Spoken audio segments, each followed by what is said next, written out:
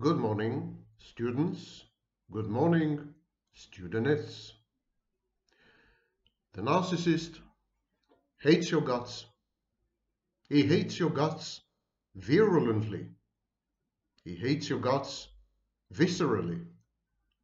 He hates your guts with all his heart. The more he thinks he loves you, the more he is dependent on you, the more he hates you. This condition is known as ambivalence, and one of the major protections against ambivalence is perfectionism, the topic of today's lecture. You ask, why? Why can't he simply love me the way I love him? Well, I'm here to help you with that. I'm here to take you by the hand and lead you through the maze, the labyrinth dark, empty, long abandoned, vacated by its sole occupant.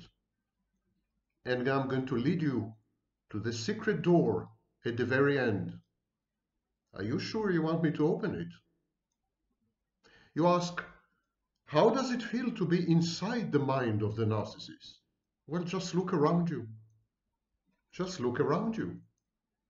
The world is a horror show a narcissistic horror show. What you see is what you get inside the narcissist's mind. Gaslighting, confabulation, extreme uncertainty, approach avoidance, false hopes dashed, deterioration and degeneration, extreme aggression, lack of communication. These are all hallmarks of narcissism. You live Right now, you inhabit, you reside inside the narcissist mind writ large. This is your world from now on. Welcome to my world. And today, as promised, we are going to discuss perfectionism and how it is intimately li linked to the narcissist's hatred of you and what forces him, what causes him to inexorably relentlessly, irresistibly gravitate towards these utterly dysfunctional solutions that deny him happiness, contentment, a life lived. Why does a narcissist reject his life so vehemently? Why does he make you a part of his non-life, only to reject you as an insignificant other? All these enigmas will be answered. I give you my word. The lecture is divided into two parts, general, and then at the end, a review of some literature, very briefly.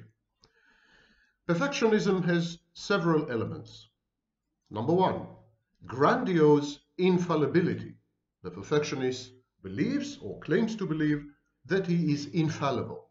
He cannot make mistakes. He doesn't commit errors. His judgment is supreme and non-disputable.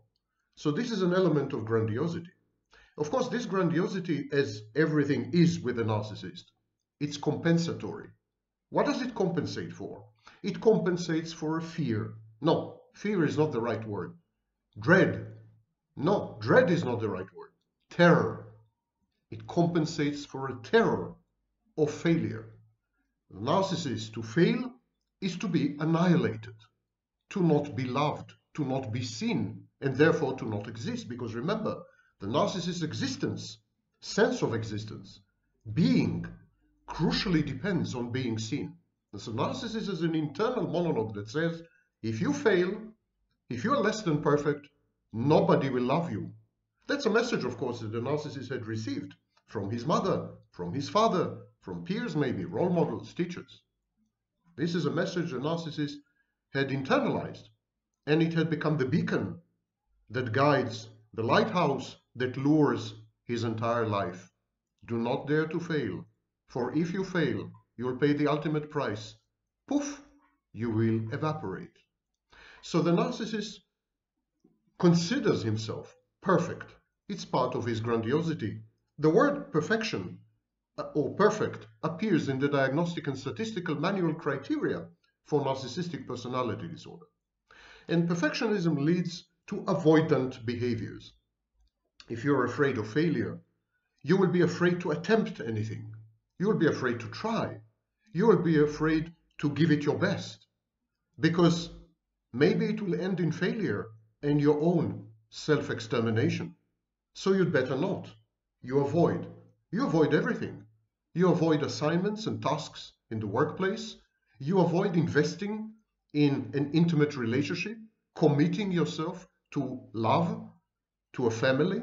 You avoid simply life. Avoiding life guarantees that you will never fail. One hell of a strategy, wouldn't you agree? So grandiose infallibility reflects a compensatory mechanism for fear of failure, which drives a narcissist to procrastinate, to procrastinate, to delay, to avoid, to not be. It's another strategy of absence. Of course, perfectionism also goes hand in hand, hand, in hand with passive aggressive sadism. Because if I'm perfect, you are imperfect. If I keep telling you I'm a genius, the implied message is you are not geniuses. You are stupid by comparison to me. If I tell you I'm perfect, that means you are imperfect. Every such statement is an insult, a slight, an act of aggression. But it's passive aggressive, it's covert. Perfectionism is actually a covert strategy. And finally, amazingly, perfectionism has to do with people pleasing. Remember the narcissist underlying message? I can be loved only conditionally. I can be loved only if I perform. I can be loved only if and when I am perfect. I can never be loved as I am. I can never be accepted with my flaws, blemishes, imperfections, peccadillos, etc., etc. I need to be perfect. I need to be godlike. God is loved. People love God. Here's an example for you. So I can, I must be a god. And this is the false self. The false self is, of course, godlike. Its attributes include perfection. Now, we'll discuss literature about perfectionism a bit later, but it's not critical for the presentation in, in this lecture. I would just like you to regard the latter part of the lecture as a reading assignment. Okay, where does all this mess come from? Why does the narcissist adhere to perfection as the gold standard? Well, we have to go a long way back.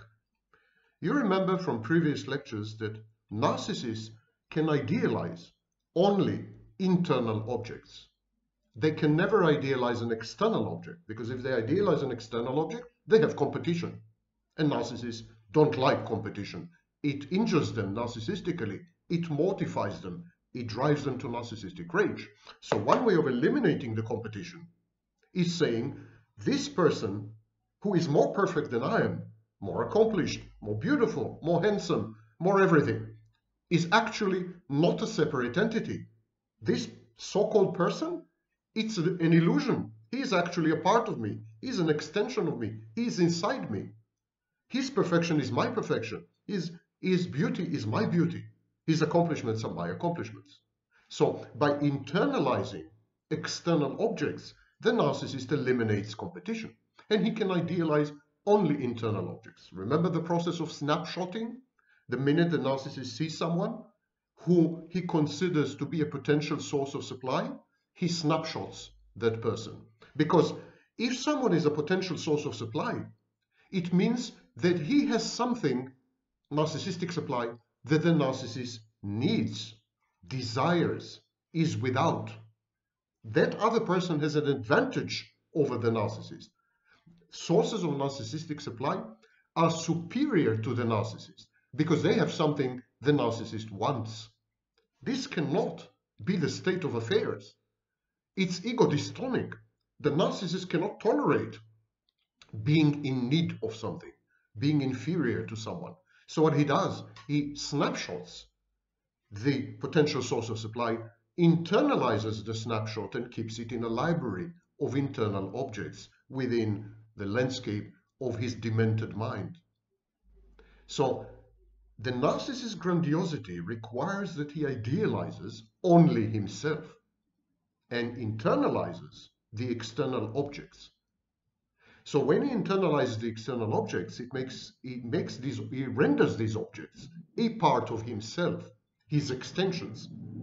From that moment on, even when he idealizes, right, from that moment on, even when he idealizes external objects, he is actually idealizing himself. And this process is called co-idealization. There's no idealization of the intimate partner, which is not essentially an idealization of the narcissist himself. So now we have idealized internal objects, and these internal objects must be perfect. You cannot idealize an object that is not perfect. If, you, if the object has flaws, deficiencies, deformities, inadequacies, lacks something, you, it can't be perfect, it can't be idealized. Process of idealization is fantastic. It's a fantasy defense. So the narcissist needs to be a perfectionist in order to idealize himself actually via the internalized external objects. This is your role in his life. Your role in the narcissist's life as an intimate partner, friend, a business associate, an audience, anyone who crosses his path. Your role is to help him idealize himself by allowing him to internalize you and idealize you as a perfect object. So the narcissist um, regards every person, every external object as a promise and a threat.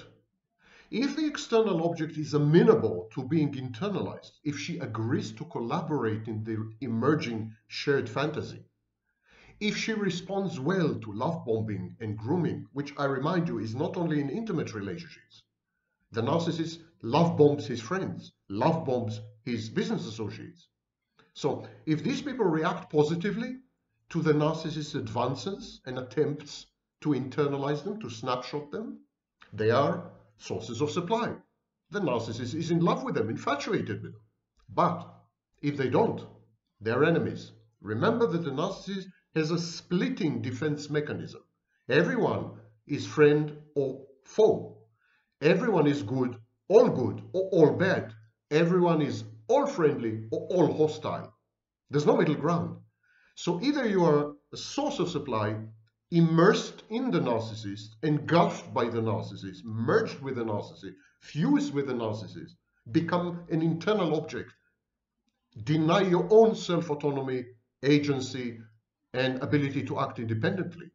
Well, in which case you're the narcissist's best friend. Or if you don't, you're his worst enemy. So the narcissist would tend to have persecutory delusions regarding the vast majority of humanity.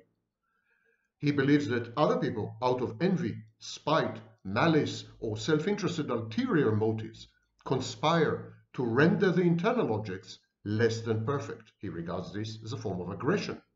He thinks that people are trying to expose the imperfections of his perfect internal objects, which he regards as passive aggression. Anyhow, back to the topic.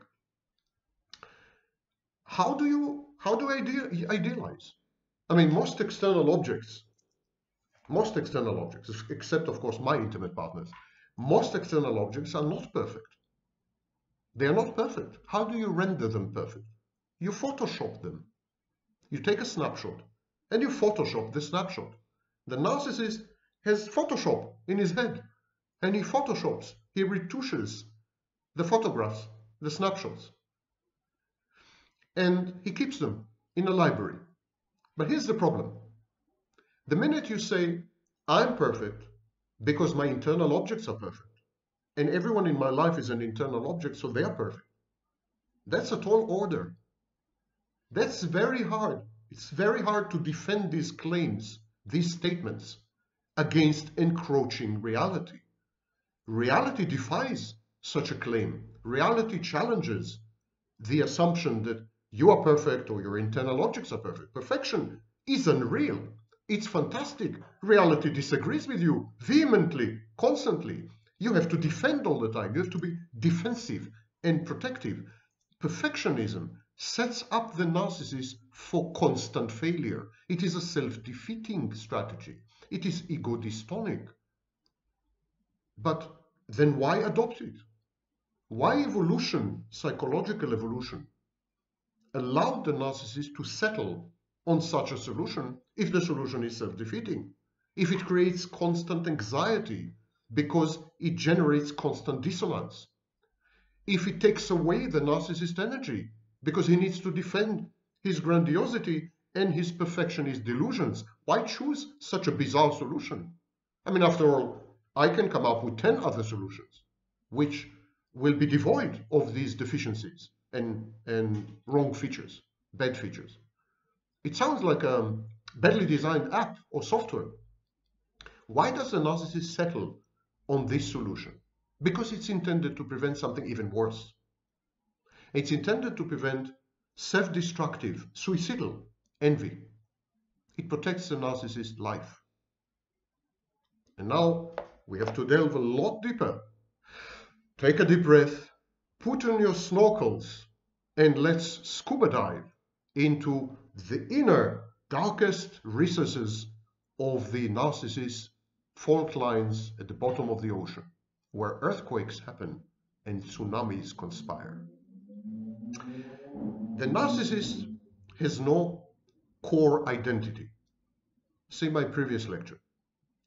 The narcissist experiences as his internal objects as ego alien. Now this is a very, very profound sentence. Why? Because I said it. no, because it's unique to, to cluster B personality disorder. Actually, it's unique to people with personality disorders.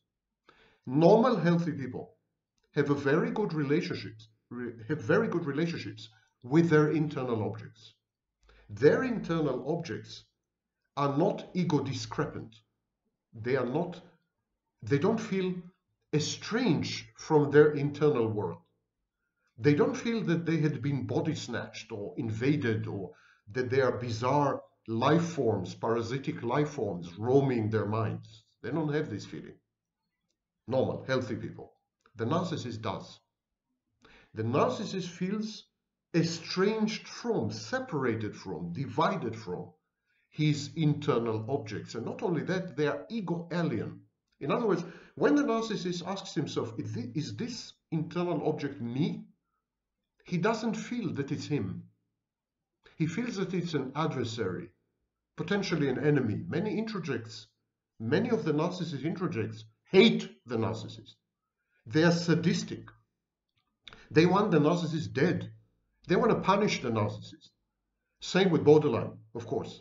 So many of these introjects are not friendly. And so the narcissist can't feel an affinity with his introjects. He can't, he can't strike an alliance with his introjects, with his internal objects. So he's a bit wary, he's removed, he's cautious. There's hypervigilance, which is directed not only outward, but inward. Actually, the narcissist hypervigilance is a projection of his internal hypervigilance. Remember, he doesn't interact with external objects. When he's hypervigilant with you, it's because he's hypervigilant with your representation inside his mind. It's ego alien. The narcissist is like a hive, an ant colony, a beehive, a coalition, an alliance. He's not unitary. He's fragmented. His internal environment is regulated exclusively with negative emotions and affects. If you were to enter the narcissist's mind, you would be flooded with, just let me increase the font, I can hardly see what's going on here. If you were to, to uh, enter the narcissist's mind and experience I strongly recommend against, you would, you would uh, be flooded with, with shame, with guilt, with envy, with anger, with hatred. This is a narcissist in a landscape. The narcissist doesn't only hate himself, but he's also angry at himself. He's ashamed of himself. And, bizarrely, he envies himself, which I'm about to explain. To understand how come the narcissist envies himself, which is intimately connected with the narcissist's perfectionist and the narcissist's hatred of you. So to understand this whole extremely counterintuitive process, we need to go back to the inevitable uh, Melanie Klein. Melanie Klein may not have been drop, uh, drop dead gorgeous, but her mind was. So Melanie Klein suggested that when the baby is born, the baby is frustrated by the mother. He sometimes gets what he wants, and sometimes she's absent or refuses to give him what he wants. So what the baby does, he has two mothers. He has a bad mother and a good mother. Melanie Klein called it pornographically the bad breast and the good breast. I can only imagine. So the baby divides the mother into a bad object and a good object. And according to Melanie Klein, the baby regards himself, internalizes the good object, and externalizes, projects the bad object onto the mother. So there's a mother who is all bad and the baby who is all good. And this is called the schizoid paranoid solution. And then the baby grows up. Well, some babies grow up, some of them become professors of psychology. So the baby grows up and suddenly he realizes that mother is not all bad.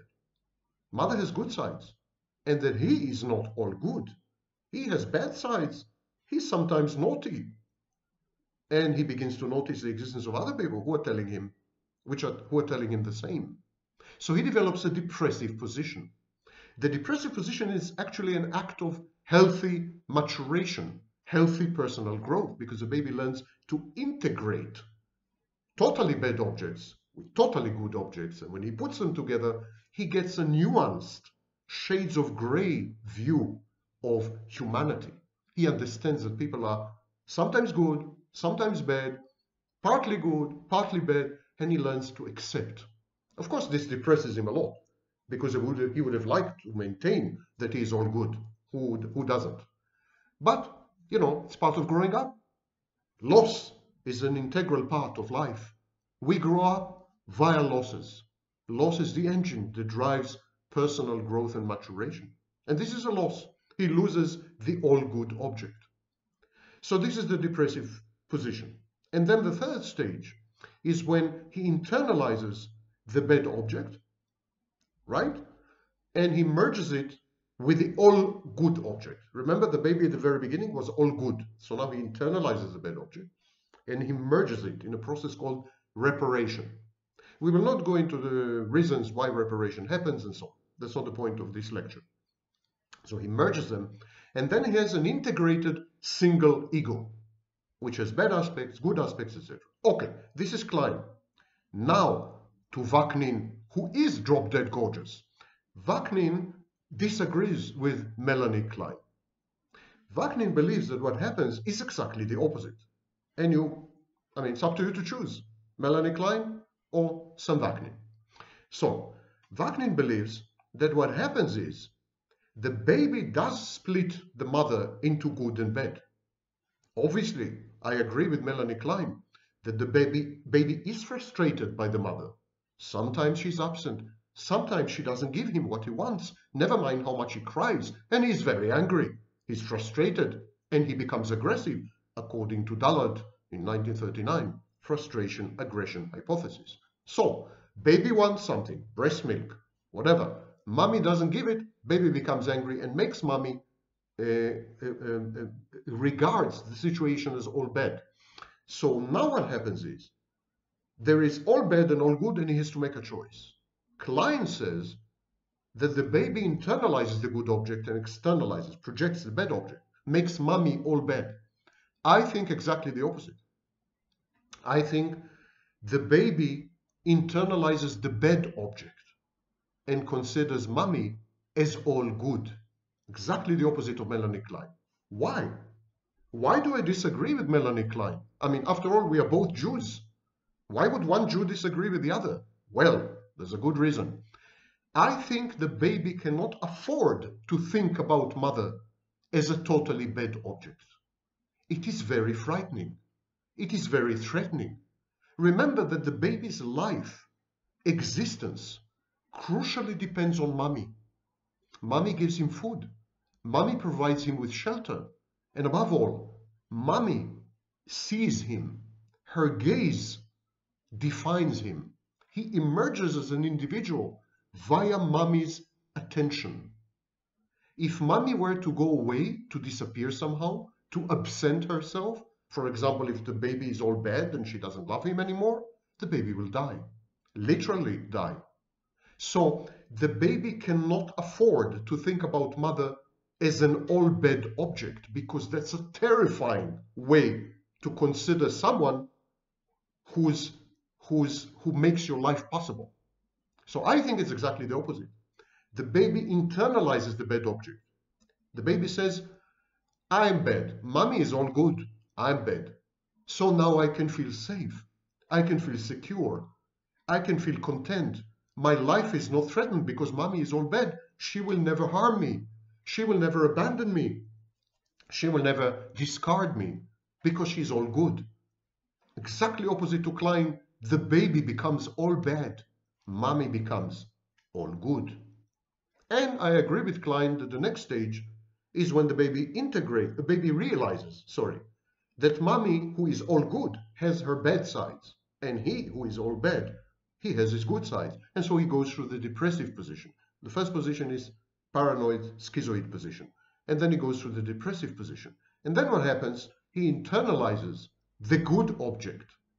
He internalizes the good object that is mother and he becomes one. He, he, he gets, he, he generates a single integrated ego from these aspects.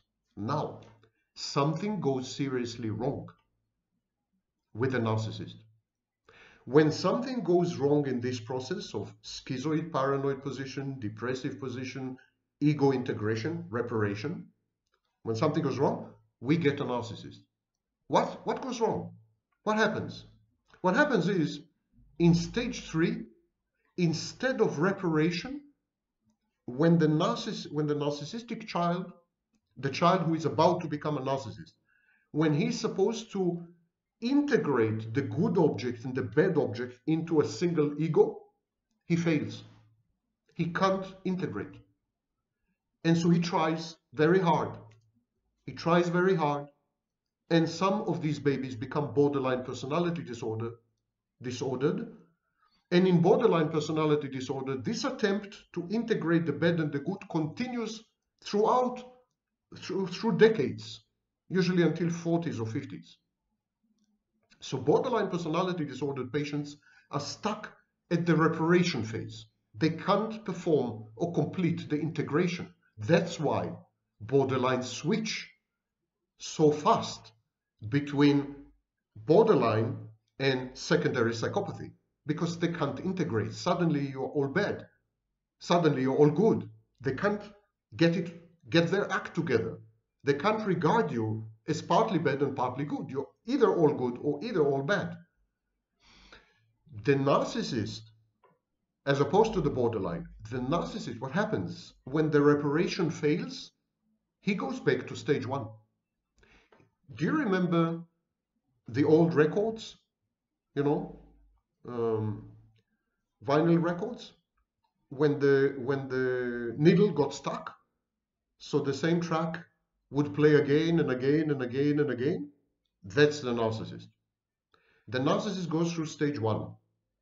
Okay? He internalizes the the good the bad object. He externalizes he projects the good object to mommy. He then realizes that mommy is partly bad partly good. He's partly bad partly good. Okay? The next stage is to integrate these insights and create a single ego. He fails. He fails, he gets stuck. So he says, okay, let's try again. So he goes back to stage one. Again, mommy is all good and he is all bad. Again, he tries to integrate. Again, if, and he's stuck in stage one, in effect. He loops. He loops through stages one and two. I'm not the first to, to suggest this, actually. Shockingly, I'm not the first. The first was uh, another non-Jew, Jung. Jung was closest when he described pathological narcissism as a failure of narcissistic investment in introversion. It's another way of, of saying what I've just said. So the narcissist gets is stuck at a shockingly young age. You could safely describe the vast majority of narcissists as stuck between ages six months and two years the first phase of formative years, before separation and individuation. Their basic primitive mind is stuck there. You have layers of skills and, and learning, and you know, some narcissists even become handsome professors of psychology and teach narcissism. But when push comes to shove, when you dig deep, dig deep down, when you drill, when you get to the core and the essence of the narcissist, whoever is, whatever position he occupies, you get a maximum, maximum two-year-old child as far as certain issues. Uh, with other issues, the narcissist can be nine years old, six years old. But when it comes to the core, the narcissist is about two years old in the best case. There are many narcissists who are stuck at six months old. It's a shockingly, shockingly disorganized structure of personality. And again, that's not my observation. It's the observation of Otto Kernberg. Into all this mess, into all this mess, negative emotionality intrudes. You can't survive in such a chaotic environment without beginning to feel seriously bad about what's happening to you and without beginning to resent yourself for your constant failure, for being stuck in the loop. And one of the most critical negative emotions is envy. Envy is the hallmark of narcissism. It's the prime source of what is known as narcissistic rage. The schizoid self, fragmented, weak, primitive, remember the schizoid paranoid phase, stage one in Melanie Klein, stage one in my case as well. This schizoid self is intimately connected with narcissism through envy. The dominant effect is envy. Narcissists prefer to destroy themselves and to deny themselves rather than to endure someone else's happiness, wholeness, and triumph. The narcissist, for example, would fail his exams in order to frustrate the teacher that he adores. And because he adores, he envies. The narcissist would abort his therapy in order to not give the therapist a reason to feel gratified or be proud of his accomplishments. By self-defeating and self-destructing, narcissists deny the worth of other people. They deny other people um, happiness, contentment, gratitude, pride. If the narcissist fails in therapy, his therapist must be inept. Woo-wee! The narcissist is happy.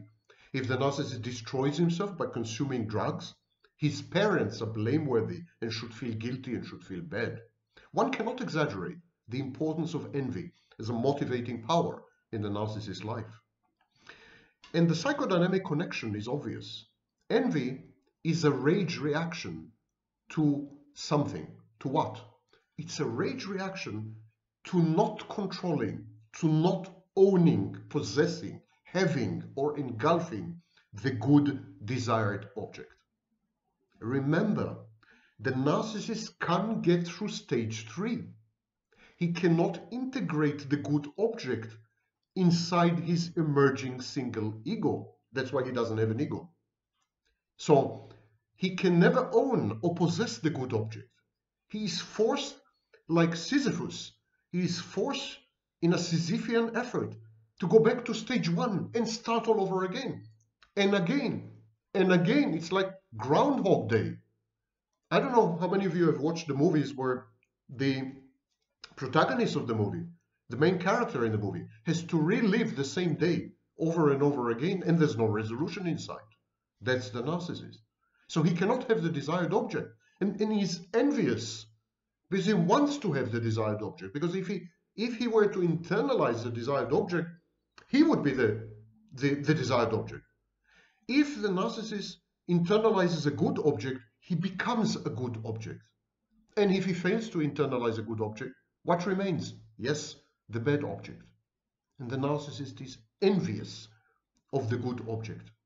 Narcissists defend themselves against this acidulous, corroding sensation that they can't get it, they can't assimilate, they can't digest, they can't engulf, they can't enmesh, they can't merge and fuse with a good object. It's a horrible feeling and this sensation, and so they pretend that they do control. They do possess and they do engulf the good object. They lie. To whom? To themselves. They generate a delusional, fantastic space, a confabulation, where they did succeed. They did succeed to complete stage three. It's like someone who would fail in, in college and would lie to his parents and tell them that he had succeeded marvelously with flying colors. These, these are the narcissist's grandiose fantasies of omniscience and omnipotence. There's omniscience and omnipotence and everything else, perfect love, brilliance, they all emanate from a good object, godlike object. God is good. But in doing so, by doing this, by lying, by confabulating above all to himself, the narcissist must deny the existence of anything good outside himself. You, for example. Because think about it for a minute. If there is something good outside himself, then perhaps he did not succeed. He, perhaps he did not, perhaps he had failed to integrate with a good object. It destabilizes the narcissist. Whenever he comes across someone who is a good object, it challenges him, it destabilizes the whole confabulation, it undermines the whole edifice, the precarious house of cards constructed on the quicksand of lies. So he denies the existence of anything good, any good object outside himself. He defends himself against raging, all-consuming envy by solipsistically claiming to be the only good object in the world. I want you to understand this, really understand this, because this is so out of normal human experience. The narcissist claims, believes, had convinced himself, had self-deluded that he, and only he, is the single, only good object in the world. There is no other. And this is an object that cannot be had by anyone. He cannot let anyone else possess this object. Only the narcissist can possess this single most precious treasure, the only good object in the world, himself. So this is the source of autoeroticism. That's why the narcissist directs his life force, Freud called it libido, onto himself. Because he is the only good object in the world. Only the narcissist is allowed to possess himself, his good object, this only good object, this sole good object. This exclusive good object can be had, can be owned only by the narcissist. This is why the narcissist is infatuated, including sexually infatuated, with himself. It's an object that no one else can have except the narcissist. And so because this good object is owned exclusively by the narcissist and no one else has any access to this good object, the narcissist threatening, annihilating envy is ameliorated. The narcissist becomes immune to his own self-destruct, uh, to his own destructive envy. Let me try to recap this.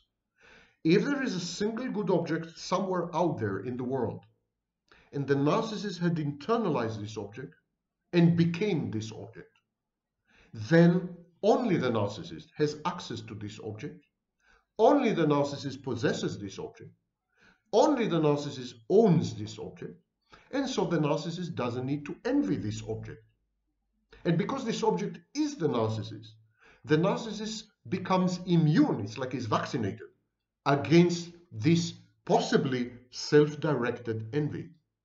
The narcissist tells, talks to his envy and says, envy, envy, don't direct yourself at me because I am I am the good object. It's okay. You don't need to be envious of the good object. In order to refrain from being owned by anyone else, because this is crucial, the good object cannot be owned by anyone else. And that's why the narcissist is ambivalent and approach avoidant. Because when the narcissist finds you as a potential intimate partner, source of supply, he believes that he loves you. He believes he's in love with you. But that's very threatening Because if he's in love with you, and if you love him back, you will gain access to the good object. The access to the good object has to be exclusive, and only the narcissist can have the key. Intimacy means duplicating the key and giving you the duplicate. Intimacy means giving you the password to the vault, to the safe. Intimacy means allowing you access, transformative access, to the narcissist's inner core of seething lava formations of negative emotions. You can kill the narcissist inadvertently with your love. You are a death threat. The narcissist cannot allow you to own the good object, to, to tap the good object, to touch the good object. Because if the narcissist lets you do this, this his envy will erupt. The moment you have access to the good object, the moment you touch the good object, the narcissist's core, the moment you interact with the good object, the good object is no longer the narcissist only. It's also yours. And if the good object is also yours, the narcissist will envy you because you have access to a good object. His envy will erupt. But who is the good object? It's the narcissist. So the minute the narcissist grants you access to the good object, he will envy you and the good object because the good object is no longer 100% his. And because the good object is the narcissist, he will destroy himself. Very often you see this. When the narcissist believes that he fell in love, when the narcissist develops any modicum of intimacy, when the narcissist becomes dependent on an intimate partner, he becomes enormously self-destructive. He begins to abuse substances. He sabotages and undermines his work. He, he destroys everything around him, including his family and his marriage and his love. Everything. It's a, uh, an orgy of self-destruction. Why? Because the minute he shares his good object with you, his envy erupts. He envies the good object. He envies you. And he envies a good object because the good object has access to you, which he does not have. So he wants both of you destroyed. He wants both of you gone. He wants to destroy you. He hates your guts for having provoked all this, for having initiated this process that he cannot control. And he hates the good object because the good object has access to you. The good object can experience your love, your intimacy, your empathy, everything you have to give, your compassion, and he hates the good object for this. He envies the good object. He wants the good object destroyed. But who is the good object? The narcissist. That's the source of self-destructiveness in intimate relationships with narcissists. The narcissist reduces everyone to non-entities. It's a narcissistic solution. Because the narcissist doesn't exist, because he is an absence. Yes, the howling winds in the empty corridors, in my metaphor the Hall of Mirrors, he reduces you to non-existence. Many people describe the experience of living with the narcissist, interacting with the narcissist, and loving the narcissist as a process of becoming non-existent. They feel that their, their existence is being wiped and erased and deleted. They feel that they're disappearing, getting annihilated gradually, incrementally because narcissist reduces everyone to non-entities. Why? Because if you are an entity, if you exist, if you're independent, if you're autonomous, if you have agency, if you're self-efficacious, if you're goal-oriented, you can and will gain access to the good object because the narcissist believes that he loves you. He will be forced to give you, grant you this access, and he knows what's going to happen. The minute he grants you this access, he will begin to envy you for gaining this access. And he will begin to envy the good object because the good object now is non-exclusive and has access to you, which the narcissist doesn't have. So he will want to destroy you and he will want to destroy the good object. The good object is himself. He's terrified. You're pushing him to suicide. Well, mental suicide at least. Mortification. So the narcissist says, well, actually she doesn't exist. He reduces you to non-entity. He erases you like wipers on a windshield, you know? You are like so many raindrops and he's wiping you away and he's internalizing you. He's internalizing you in internal objects and merges you with a good object. He's internalizing you, he's idealizing you.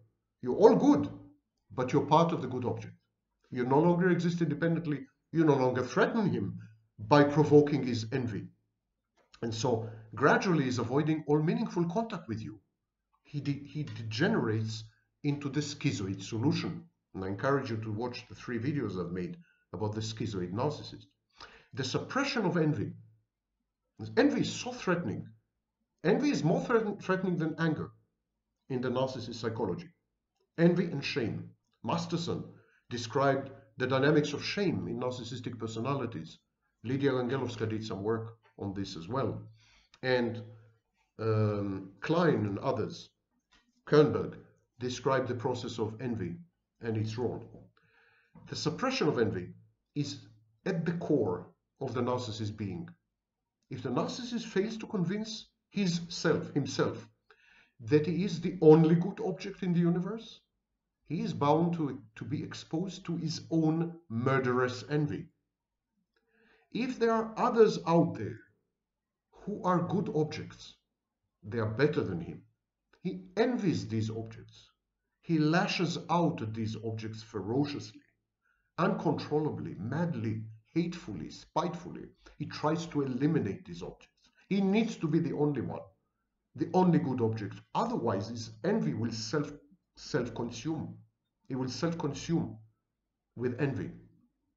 If someone tries to get emotionally intimate with the narcissist, you for example, she threatens the grandiose belief that no one but the narcissist can possess the good object. That is the narcissist himself. When you say to the narcissist, I love you, his mind, his sick mind, interprets it as, I'm about to possess you. I'm about to gain access to your innermost treasure, to your solely owned good objects. I'm about to become a shareholder in your sole proprietorship company. I'm going to share with you everything you own, everything you have, and above all, everything you are. It's a threat. It's a hostile takeover. Only the narcissist can own himself. Only the narcissist can have access to himself. Only the narcissist can possess himself because he is the only good object in the world. This is the only way to avoid seething envy and certain self-annihilation. Perhaps it is clearer now why narcissists react as raving madmen to anything, however small, however minute, however remote, anything that seems to threaten their grandiose fantasies. Because their grandiose fantasies are the only protective barriers between themselves and their lethal, lethal, all-consuming envy. Perfectionism is a defense against envy. Because of course, if you are the only good object in the universe, and you're also perfect, there's no reason to envy the good object. Good object is you. And there's no reason to doubt that it is you, because the good object is perfect, and of course you are perfect. That's your grandiosity. You become God in effect. And remember, God is all inclusive. God is inside everyone and everyone is inside God.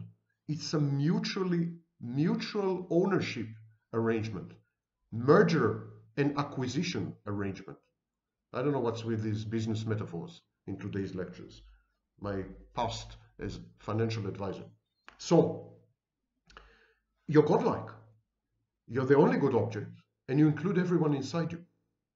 And so it's a perfect solution. Perfect solution. Perfectionism. Uh, literature assignment. Uh, I will give you four articles from four periods in the history of psychology and how each period regarded perfectionism. So the first article is from April 1965. I was four years old.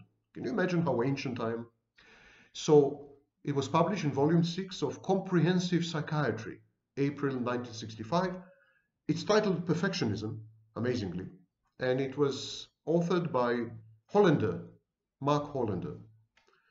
I will read to you a segment, a, a part from the. So, perfectionism, says Hollander, was defined as demanding of oneself or of others a higher quality of performance than is required by the situation.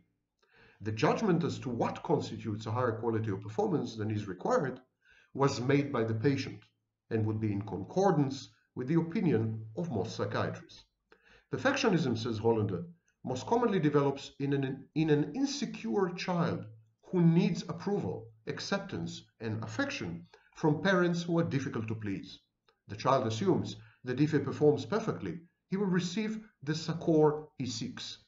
Later perfectionism represents an effort also to combat self-belittlement. Perfectionism was differentiated from compulsiveness. The former, perfectionism, being a means of obtaining interpersonal supplies and of seeking a better self-image. And the latter, compulsiveness, being a mechanism for fending off unacceptable feelings and impulses. Although admixtures of perfectionism and compulsiveness occur, it is essential in clinical practice to deal with each trait separately. Fast forward to 1990 and to the article The Dimensions of Perfectionism, authored by Frost, Marten, Lahart, and Rosenblate. It was published in Cognitive Therapy and Research, Volume 14, 1990. They say perfectionism is a major diagnostic criterion for one DSM-3 diagnosis, and it has been hypothesized to play a major role in a wide variety of psychopathologies. Yet there is no precise definition of, and there is a paucity of research on, this construct. The major dimension of this measure was excessive concern over making mistakes. Five other dimensions were identified, including high personal standards, the perception of high parental expectations, the perception of high parental criticism, the doubting of the quality of one's actions, and a preference for order and organization. Jordan Peterson. Perfectionism and certain of its subscales were correlated with a wide variety of psychopathological symptoms. There was also an association between perfectionism and procrastination. Several subscales of multidimensional perfectionism scale, MPS, personal standards and organization, were associated with positive achievements, striving, and work habits. The MPS was highly correlated with one of the existing measures of perfectionism. Two other existing measures were also were only moderately cor correlated with the MPS and with each other. Future studies of perfectionism should take into account the multidimensional nature of the construct. Fast forward to 2002. Don't you just love this time travel? 2002, an article titled Perfectionism Theory, Research and Treatment, published by the American Psychological Association and authored by Flett, F-L-E-T-T, Hewitt, and others. It's actually a book published by the American Psych uh, Psycho uh, Psychological Association. And these are the editors, Flett and Hewitt. And they write, role of social, motivational, emotional, and cognitive factors in perfectionism is important. The next part of the book focuses primarily on the important association between perfectionism and life stress and how the two combine to produce adjustment difficulties. And then there's an article, um, I think 2004. Is perfectionism good, bad, or both? Examining models of the perfectionism construct. It was authored by Bieling, B-I-E-L-I-N-G, Uh, and Israeli, and McAntony. McAntony. So they write, perfectionism has been conceptualized as a personality variable that underlies a variety of psychological difficulties. Recently, however, theorists and researchers have begun to distinguish between two distinct types of perfectionism. One is maladaptive form that results in emotional distress, and a second form that is relatively benign, perhaps even adaptive maladaptive evaluative concerns, maladaptive, maladaptive perfectionism, was more strongly associated with depression, anxiety, stress, and test-taking anxiety. Overall, this study supports the validity of a distinction between two types of perfectionism and points to the importance of this duality for measurement and research on perfectionism. And finally, 2019, um, an article titled Perfectionism and the Five-Factor Model of Personality, a Meta-Analytic Review, was authored by Smith, Sherry, and Vidovic. And they say over 25 years of research suggests an important link between perfectionism and personality traits included in the five-factor model, FFM. However, inconsistent findings, underpowered studies, and a plethora of perfectionism scales have obscured understanding of how perfectionism fits within the FFM. We address these limitations by conducting the first meta-analytic review of the relationships between perfectionism dimensions and FFM traits. Meta-analysis with random effects revealed perfectionistic concerns, socially pre prescribed perfectionism, concern over mistakes, doubts about actions, discrepancy. These were characterized by neuroticism, low agreeableness, and low extraversion. Perfectionistic strivings, self-oriented perfectionism, personal standards, and high standards were characterized by conscientiousness, Additionally, several gender, age, and the perfectionism subscales, uh, subscale were used. Findings complement theories suggesting that perfectionism has neurotic and non-neurotic dimensions. Results also underscore that the maladaptiveness of, of perfectionistic strivings hinges on instrumentation. So this is your reading assignment. Perfectionism is intended to counter envy. Envy is uh, balanced by subsuming and assimilating the good object.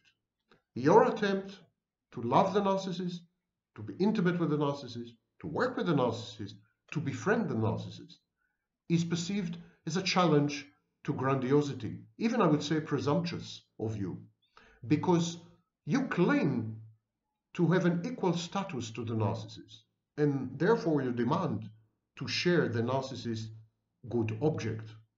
Only the narcissist is the good object. There's a single good object in the whole universe, and that's a narcissist. And only the narcissist should have access to this good object. If you gain access, the narcissist is going to envy you. He's going to envy you. He's going to hate you. He's going to destroy you. Isn't this a great summary of a relationship with the narcissist? Have fun.